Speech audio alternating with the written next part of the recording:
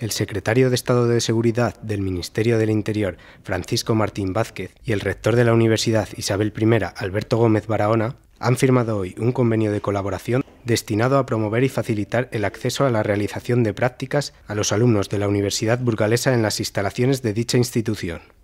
De este modo, se ofrece una atractiva oportunidad a los alumnos de la Universidad Isabel I que cursen estudios vinculados al grado de Criminología, al grado de Derecho o al grado de Ciencias de la Seguridad, con el objetivo de ampliar sus conocimientos en materia de seguridad ciudadana, de una manera práctica, apoyada en la experiencia de los profesionales de las fuerzas y cuerpos de seguridad del Estado. Al acto de la firma del acuerdo, que ha tenido lugar en la sede de la Universidad Isabel I, asistieron también la vicerrectora de Ordenación Académica, Olaya Abadía,